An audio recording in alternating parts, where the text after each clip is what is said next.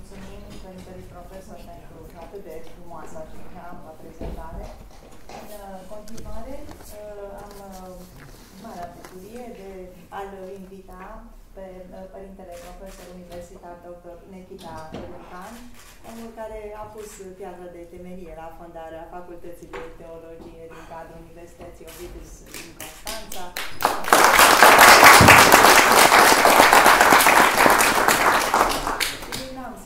Niciodată să spun, cel care mi-a călăuzit uh, pașii, uh, prima mea teză de doctorat în teologie, l-a avut coordinator pe nimeni altul decât părintele profesor universitar dr. Nikita Luncan. Vă rugăm.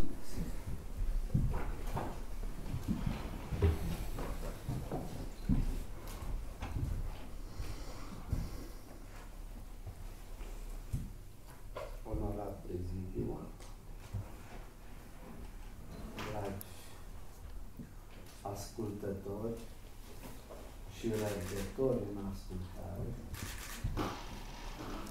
Mulțumesc înainte de toate celor care au organizat această conferință, care este un memento, o aducere aminte a ceea ce a însemnat prigoane comunistă asupra ideologiei creștine în România. Studiul meu se intitulează Rezistența creștină în fața avatarurilor ideologiei comuniste din România. Și vreau să surprind ca istoric câteva secvențe din această rezistență, să enumer câteva personalități care au dat tributul de sânge, de suferință și chiar de viață pentru a rezista în fața ideologiei comuniste. A fost o perioadă de foc toată gama de prigoane și suferințe dezlănțuite de diabolic de regimul ateu împotriva Bisericii Strămoșești în perioada anilor săi de dominație, 1945-1989.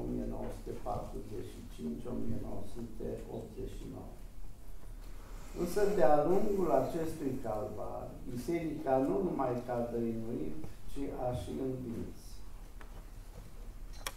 Furtuna prigoanelor nu a alterat și nici nu a afectat ființa și structura teatrică a bisericii, ci din potrivă a întărit-o și a călit-o în adevărata credință străbună ca aurul lămurit în foc.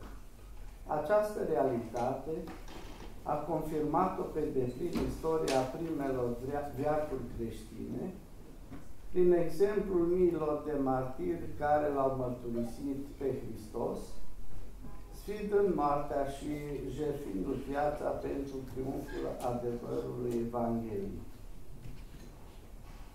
Așa cum primii creștini au înfruntat privana păgânilor, pășind de la chinul cu fruntea senină și pieptul deschis, tot astfel și atleții credinței acestui popor născut creștin nu s-au intimidat și nici nu s-au înfricoșat de amenințările, chinurile și tehnicile la care i-au supus călăii comuniști și au stat neclintiți pe temelia adevărului care este Isus Hristos. 1 Corinteni 3.11 un exemplu edificator ne dă Părintele Arsenie Papacioc de la Pechidiol, care spunea Ne-au cerut lepădări de Hristos și de Sfinții Lui și nu ne-am lepădat, ferească Dumnezeu. O cât de mică amăgire nu am făcut, măcar că știam că au cerut aceste lepădări insistent și sistematic. Închei citatul. Iată unde a fost biserica în timpul dictaturii atei. O temniță, în temniță, în umilință, în noi ani de suferință, nu în lașitate și disperare, ci în spirit de jertfă, de curaj și optimism spiritual care dă forță și tărie convingerii că, citesc, toți care voiesc să trăiască cu cernic în Hristos Iisus vor fi prigoniți. 2 Timotei 3 cu 12. Biserica Neamului, prin rezistența și opoziția sa eroică, plătită cu prețul sângelui și a jertfelor depuse pe altarul credinței și al miilor și sutelor de preoți monași religioși, care, care nu s-au sfiit și nu s-au lăsat ignorați în fața persecuțiilor și schimbiurilor cumplite ale gulagului comunist, l-a propovăduit pe Hristos cu îndrăzneală, fiind gata oricând să sufere pentru el.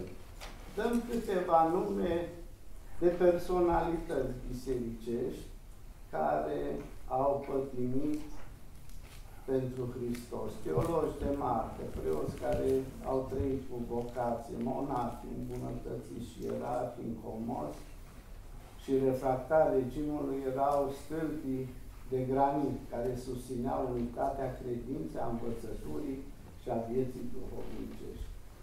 Dintre toți aceștia ne referim la câțiva care au avut o personalitate mai proeminentă. Preotul profesor Constantin Dalevi, preotul Constantin Sârbu, preotul Dimitrie Bejan, preotul Alexandru Mazilu, arhimandritul Nina Dobzeu, Părintele Calciu Dumitreascu, ieromonahul Ioan Iovan de la Vladimir și alții. Părintele profesor Galeriu, întrebat fiind într-un interviu de ce a fost deportat de comuniști la canal, la muncă sfântă, Sfinția s-a răspuns că a suportat aceste privațiuni pentru simplul fapt că ținea cateheză duminica după amiază, la care participau foarte multă lume. Părintele Constantin Sârbu de la Biserica Sapienței din capitală a fost o icoană vie a slujirii preoțești și a apostolatului creștin. O dramă asemănătoare s-a petrecut și cu părintele Alexandru Mazilu din comuna Tofteană, județul Bacău. Soția sa și copiii și toți contemporanii săi care l-au cunoscut în mod direct, recunosc că acest preot de ispravă a suferit vreme îndelungată, fără să fie avut nicio vină. Profesorul de limbă și literatură română, Sivoglo Neculae, care a fost martor ocular al prolifice și pilduitoare activități pastorale a Părintelui Alexandru Masilu, în memoriul său înaintat primăriei comune cerea insistent la câteva luni după Revoluția din decembrie 1989 să fie reabilitat post-mortem acest cleric martir care a lăsat amprente adânci în sufletul păstoriților săi prin tipul îngeresc și blândețea cu care se purta și devotamentul său inegalabil cu care slujea lui Dumnezeu și oamenilor. Azurile pot să fie continuate, dar timpul nu ne îngăduie mai mult și vom arăta că au fost cazuri în care credincioșii au format front comun și s-au solidarizat cu slujitorii bisericii persecutați în perioada dictaturii. În București, de pildă, un grup de credincioși au constituit un comitet pentru apărarea preotului martir Calciu Dumitreasa. Acest, în acest sens, la 1 iunie 1978, adresau conducerii Europei Libere, solicitând acestea să popularizeze cazul dureros al acestui cleric surghiunit. Citez. Preotul Calciu ni s-a impus nouă tuturor, scriau ei, ca un om sortit, să redea viață conștiințelor noastre abătute. Dacă Părintele Calciu a devenit un caz notoriu, aceasta se datorează faptului că el se prezintă nu numai ca un bun teolog, un predicator talentat și un preot capabil, dar și datorită faptului că este un creștin plin de curaj. Părintele Calciu nu ne-a salvat doar pe noi, nu s-a salvat doar pe sine, ci a salvat în această urmă demnitatea umană în fața a ceea ce Mircea Iliade numea teroarea istoriei. Nici intelectualii de marcă nu au rămas deoparte. În acest sens, amintim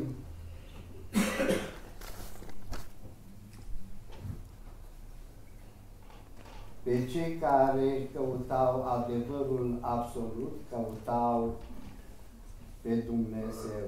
Capetele prea înfierbântate vor neapărat să vadă astăzi o contradicție între materie și spirit, între știință și religie, spunea un specialist în contextul vremurilor trecute, însă eu cred, spunea aceasta, că Onisifor Ghibu, că va veni vremea când materia și spiritul, știința și religia vor conviețui foarte bine și se va da lui Dumnezeu ce este al lui Dumnezeu, iar cezarului ce este al cezarului. Existența lui Dumnezeu aparține unei sfere cu totul diferite de cea a științei, aceasta din urmă fiind destinată exclusiv cunoașterii lumii naturale. Un alt părinte, Mina Domzeu de la Huș, a lansat Guvernului României chiar un memoriu pe această temă. Au fost și ierari care s-au pronunțat cu indignare împotriva politicii inumane și necreștine a regimului ateu. Amintim în acest sens pe mitropolitul Irineu Mihălcescu al Moldovei și Sucedii, care a fost silit să-și dea demisia în vara anului 1947. Mitropolitul Vasile Lăzărescu al Banatului a fost destituit în mod forțat mitropolitul Olteniei, Nifon Tridian, apoi episcopul Lucian Tricheam al Romanului, Cosma Petrovici al Dunării de Jos, Geronti al Constanței au fost pensionați din oficiu, iar episcopul Grigorie Leului, de la Huș, episcopul Andrei Magiru, Magher, și mitropolitul Moldovei și Sucetului Sebastian Rusan, Rusan au fost otrăviți. Potrivit sursele și mărturiilor oficiale, acest ultim era, era, a fost otrăvit pentru faptul că vorbea prea deschis el spunea oamenilor, nu vă lăsați după ăștia care zic că nu există Dumnezeu. Ăștia sunt nebuni. Cum să nu existe Dumnezeu? Cine le-a făcut pe toate? Apoi amintim de episcopii Partenie Ciopron și Pavel Șerpe, care au fost exilați la mănăstirea Coraița, episcopul Eugeniu Laiu la mănăstirea cheia episcopul Nicolae Popovici la mănăstirea Cernica, mitropolitul Tiții Media, iar la mănăstirile Căldărușan, Curtea de Arte și Cocoș, au fost exilați episcopi greco-catolici. Nici mănăstirile nu au avut o soartă mai bună pentru că a întreținut vie flacăra spiritualității creștine și a trăit Evanghelia, Evanghelia, monahismul ortodox a fost fără nicio îndoială ținta preferată de distrugere de către autoritățile comuniste din România, de când au, lăsat, au luat puterea și până la sfârșitul anului 1989. Cea mai grea lovitură dată monahismului românesc a fost înlăturarea abuzivă și brutală a călugărilor și călugărițelor din mănăstiri prin decizia decretului Consiliului de Stat numărul 410 din 28 octombrie 1959. Decretul spunea că în mănăstiri de călugări nu rămân decât cei care depășesc vârsta de 55 de ani, iar în mănăstirile de maici vârsta de 50 de ani. În urma aplicării acestui decret au fost desfințate mai multe mănăstiri și schituri. Motivul desfințării opților monahale era logic și ușor de concluzionat mănăstirile mențineau o viață ortodoxă, o tradiție și o spiritualitate înaltă. În acțiunea respectivă de scoatere afară din mănăstire a personalului monahal, s-a apelat chiar și la forța armatei. A fost cazul mănăstirii Vladimirești, când obștea în frunte cu stareța Veronica Barbu și domnicul lor, ieromonahul Ioan Iovan, au recurs la mobilizarea armatei pentru evacuare și arestare. N-au stat nici patriarhii vremii de o parte. Acțiunile de protest veneau atât din partea monahilor afectați de soarta dar și din partea vrednicului patriarh Justinian Marina, care apăra cu ardoare și cu orice risc monahismul românesc. În unele mănăstiri care erau pe punctul de a se desfința, el a făcut ateliere meșteșugărești de confecționat, covoare, broderii, uniforme, picturi de tablouri și icoane, lucrări de sculpturi în lemn și în piatră, prin ateliere diferite care au luat ființă în mănăstire, au fost create mijloace de bază ca să asigure cinului călugăresc o existență materială onorabilă. În perioada anilor 1958 1960, când prigonirea religioasă împotriva mănăstirilor se intensifica, însuși Patriarhul Justinian a avut curajul să protesteze împotriva acestui decret abuziv, motiv pentru care a fost trimis la Sfitul Dragoslavele, unde i s-a fixat domiciliu forțat timp de șase luni. Un lucru deosebit care a făcut pe Părintele Patriarh Justinian a fost acela de a salva de la închidere două mănăstiri. E vorba de mănăstirea Cheia și mănăstirea Slatina, care au fost transformate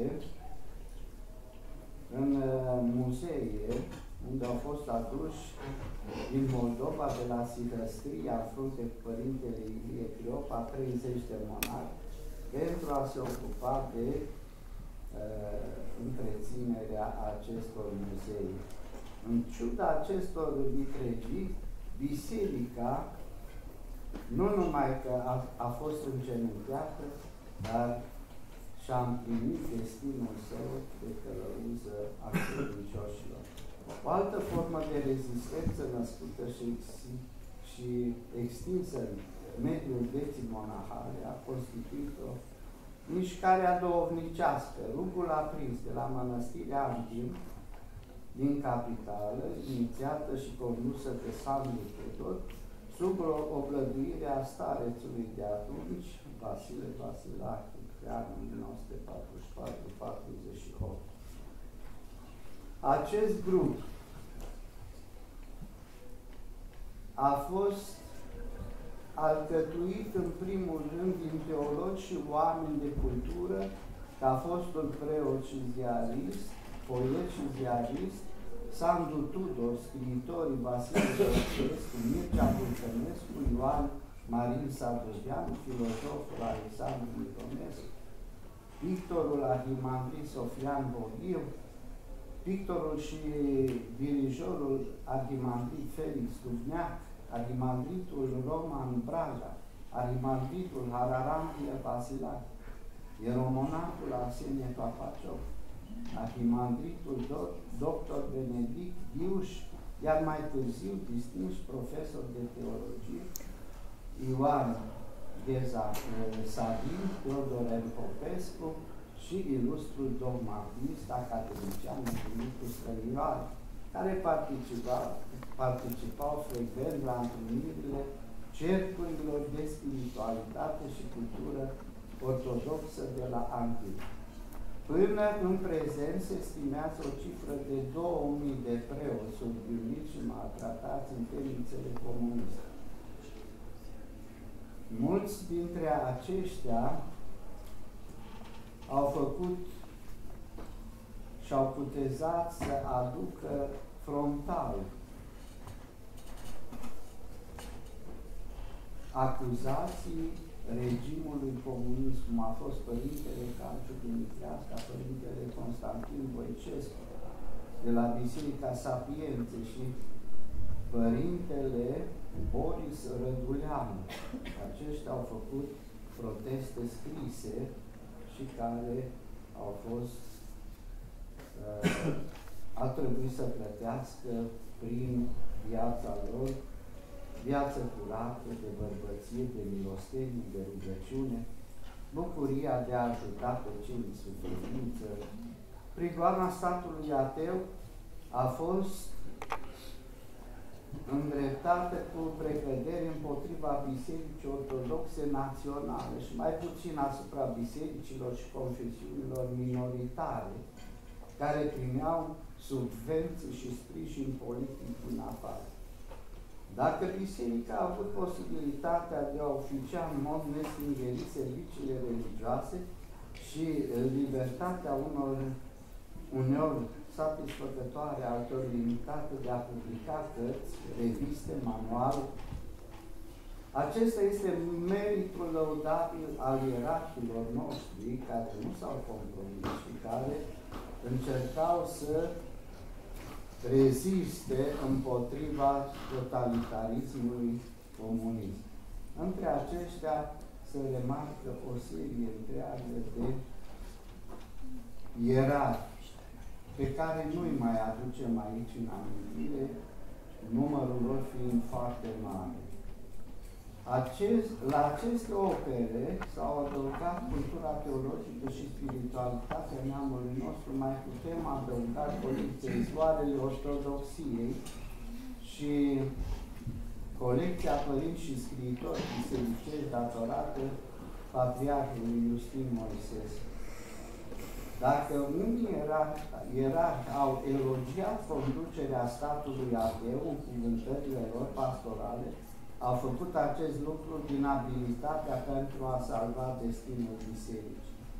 Așa cum remarca Părintele Patriarh Teochis, contemporan al, al acestor evenimente, Justinian zice că dânsul ne-a salvat de comunism prin comunism, iar întreaga sa viață a căutat să răsplătească pretutinde în bunătate, înțelepciune, iertare, înțelegere, apropiere față de cei mici și de cei mari, față de tine și față de vârstnici.